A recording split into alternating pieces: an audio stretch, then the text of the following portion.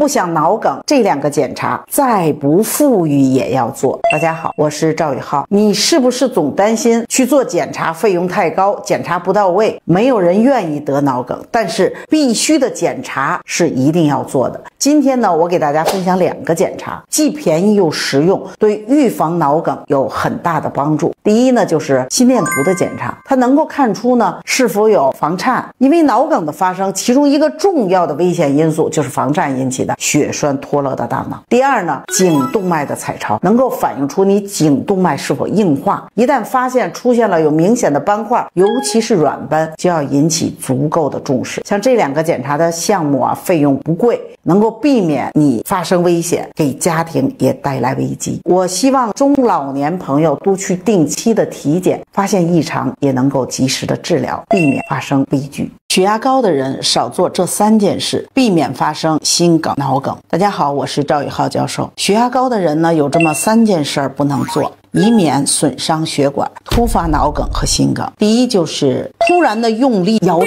和跳跃，这个动作啊，如果你有高血压，尽量的少做。这些动作会引发你的血压升高，加重了头晕、头痛这些症状，很容易出现意外。那我们平时可以循序渐进的、慢慢的活动做这些动作，不要一下子剧烈的去做。第二呢，就是避免洗冷水澡，冷水呢会使血管急剧的收缩，也会升高血压。第第三呢，就是突然的用力，比如说便秘的患者，为什么一定要保持大便通畅呢？他会用力的排便，很多的事例表明啊，这个情况下就会容易发生猝死，导致了血管的破裂。所以大家一定要注意避免以上这几点。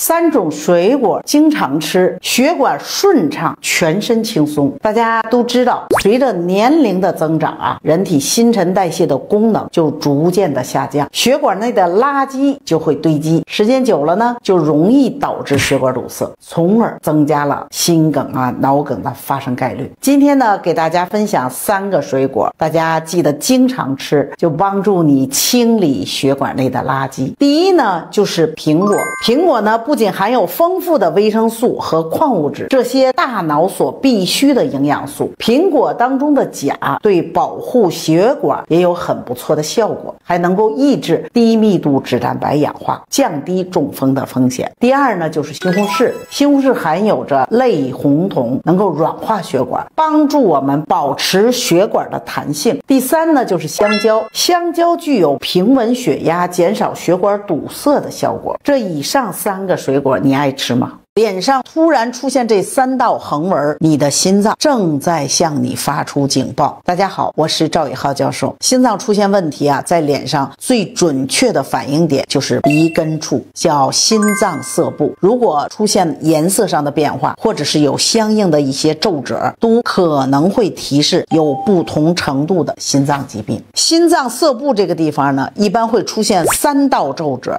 一道会在这个地方的上方，一道呢，当然。在中间一道呢，在它的下方，这么三道，如果三道全部都出现的话，它代表了你的心血管呢有堵塞的情况，百分之五十以上，大多数会是这个几率。如果心脏色部这个地方出现了颜色的变化，也暗示着疾病啊正在发生。比如说出现苍白色，属于心气虚；淡白色属于心血虚。这个地方如果出现黄色，而且还有很污浊的这种光泽，是代表着有痰浊，往往。肥胖的病人呢会出现，如果心脏色部这个地方出现青紫色，代表着心脏的淤血就很严重了。如果不及时的疏通，往往会堵塞动脉血管，出现心绞痛啊、心梗这些情况。心脏有问题，手脚先知道。中老年朋友注意了，大家好，我是赵宇浩教授。刷到这条视频呢，不要划走，跟着我一起检查一下自己的手、胳膊。腿脚，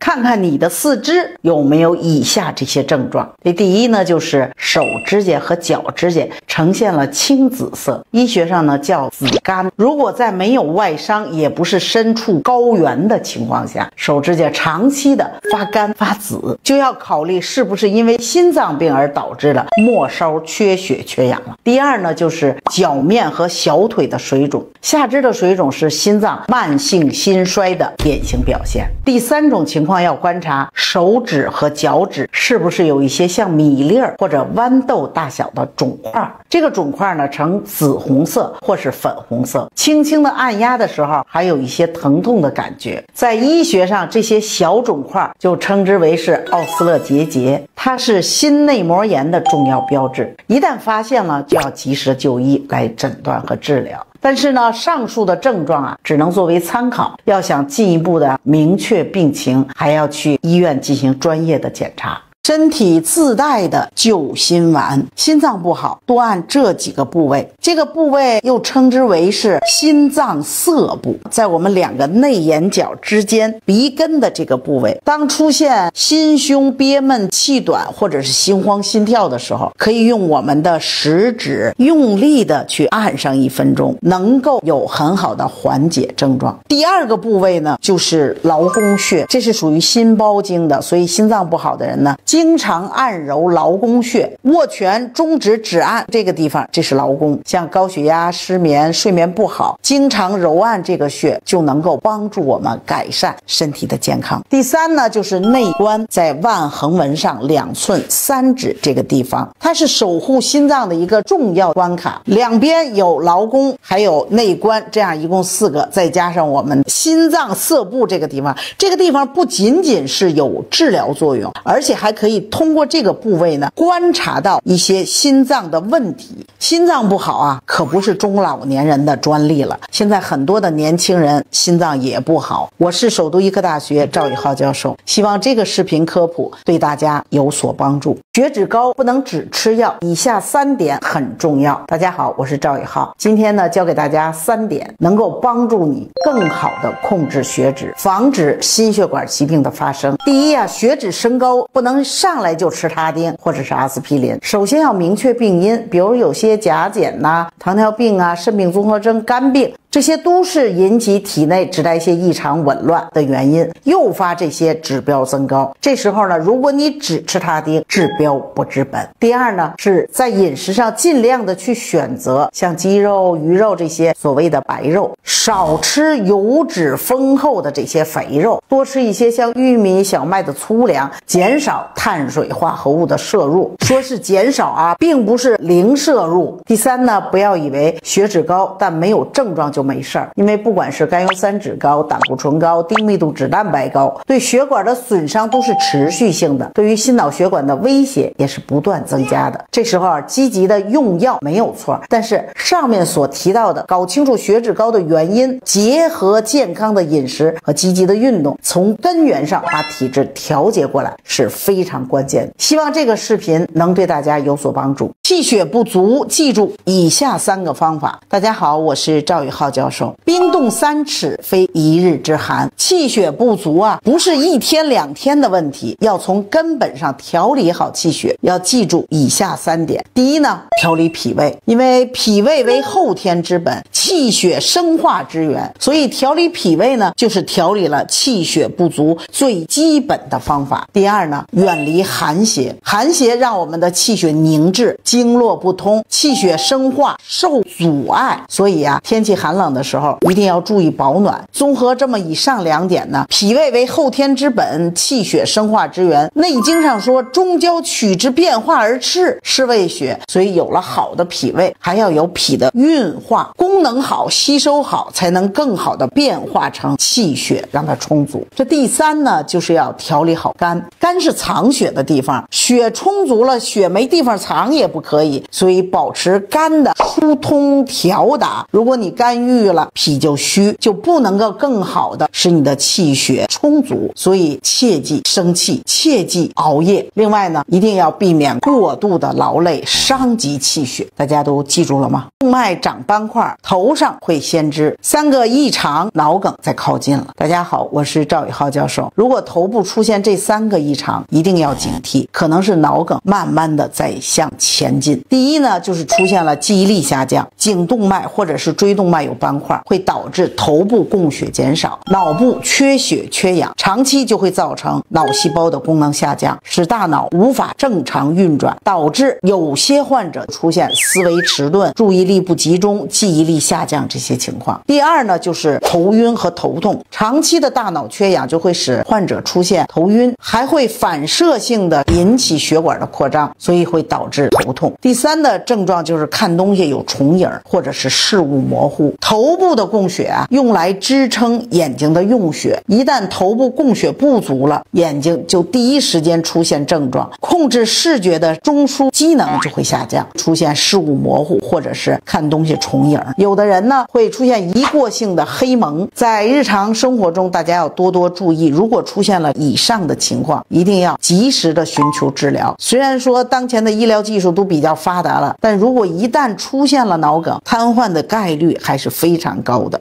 心肌缺血，记住三不做。大家好，我是赵宇浩。心肌缺血呢是心功能下降的先兆，经过了一阳二阳的很多人都会感觉到有心慌、心悸、浑身没劲儿。如果不加以控制，很可能就造成了一些更严重的后果。今天呢，给大家介绍三个注意事项，心脏才能不受累。第一呢，就是吃饭别吃太饱了。很多心脏不好的人啊，都会有心肌缺血，比如说吃饭吃的特。特别的饱，大量的血液呢就到胃肠去参与着消化工作了。这个时候呢，心脏的供血就不足，就减少了。这样呢，心脏的负担就会加重。所以说，暴饮暴食和饱餐都有可能造成心脏的损害。第二呢，就是走路别太快，运动呢要舒缓。很多人在重病之后啊，甚至感冒之后，还都会出现体力下降。这其实呢是身体在进行复原的阶段。这个时候我们是不能做剧烈运动的，否则呢会加重心脏的负担。第三呢，千万不要着急、情绪激动，会导致心跳加快、血压升高、交感神经兴奋，就有可能让我们体内的血管斑块变得不稳定，诱发。心绞痛、心梗、脑梗的风险。以上这三点呢，大家一定要记住。告诉你一个秘密：脑梗最怕的三件事儿，刷新你的认知。如果不想得脑梗，一定要知道脑梗怕什么。其实脑梗呢，它有三怕。今天这个视频详细的分享给大家。我们知道呢，脑梗是三分靠治，七分靠养。很多时候呢，我们不去伤害它，其实就是在保护它。第一呢，脑梗最怕什么？高。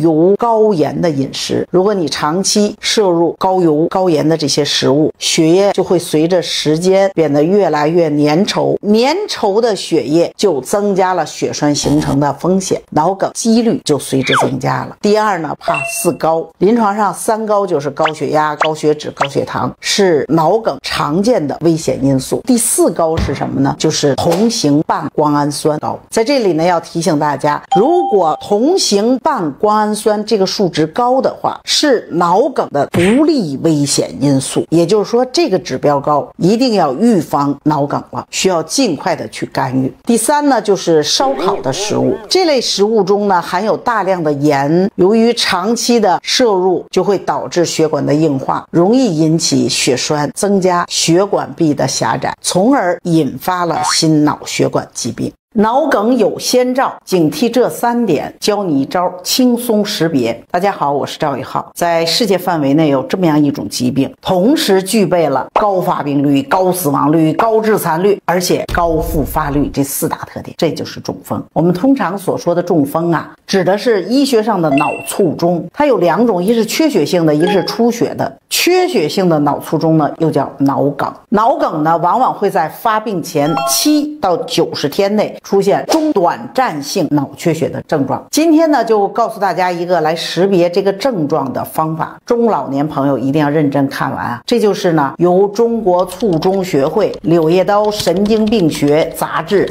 中风幺二零网站同时发布的幺二零三步识别法。一呢，指的是一张不对称的脸。如果你照着镜子发现自己脸歪了，赶紧警惕。二呢，指的是单侧的上肢和下肢无力的情况。零呢，指的是聆听，就是你能听到他口齿不清的这种情况。这三种症状一旦出现，有可能就是脑梗，要及时的就医。中医研究脑梗有几千年的历史了，有着成熟的治疗理念和治疗手段。如果你也有以上脑梗的先兆，要尝试着赶紧中医治疗干预。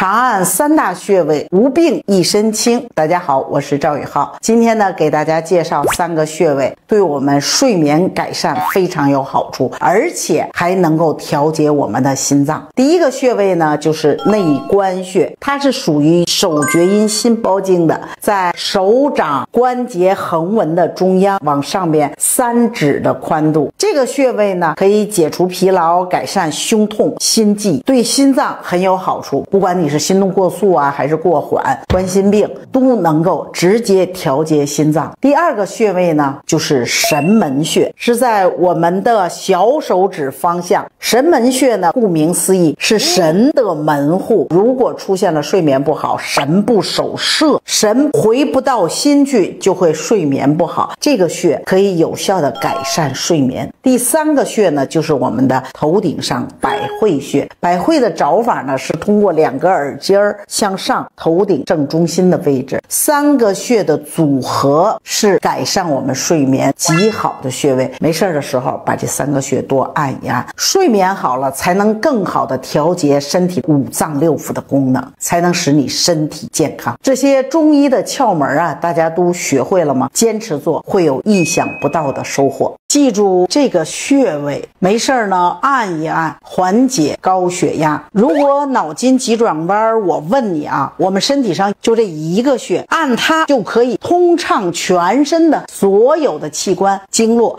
让气血通畅。这是什么穴？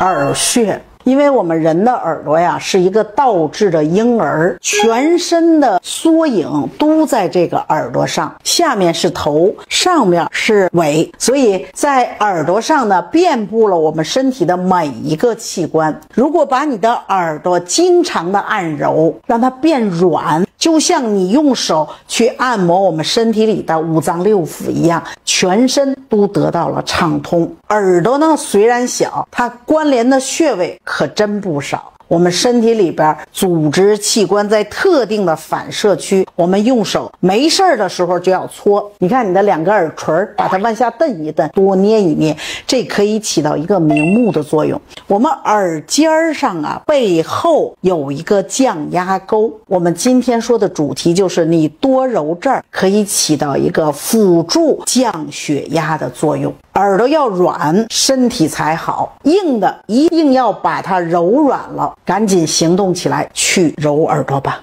多病并存，一医多治，中医治疗有优势。大家好，我是赵宇浩教授。前两天呢，在门诊有一个患者拎着一大包的中成药，他说这些药啊都是大夫让吃的。这个药呢是治冠心病的，这个药呢是治脑血栓的，这个呢是治便秘的，那个是治疗失眠的。这么多种药，不说每天吃起来一大把一大把的，会不会损伤脾胃？就说这些药物之间呢，它是不是会有相互的。作用？药效。相互的叠加，或者是相味相反，同时呢，吃起来也会有副作用，这很让人担心。中医强调整体观和辩证论治，人体是一个有机的整体，脏腑在功能上呢是相互协调的，病理上呢是相互影响的。中医治疗不要针对某一个症状或者是某一个疾病，而是以统一的症来指导治疗。也就是说，一个人可能身上有多种的疾病和症状，但是他。它的症只是一种或者是两种，所以在治疗的时候，我们要辨证去论治。这个症呢是言字旁的这个症，只要辨别准确了这个症，才能对症下药，才能取得良好的疗效。如果你有多种的疾病和症状，那每天服用大把大把的药，可以尝试一下中医的整体调理，相信会有不错的效果。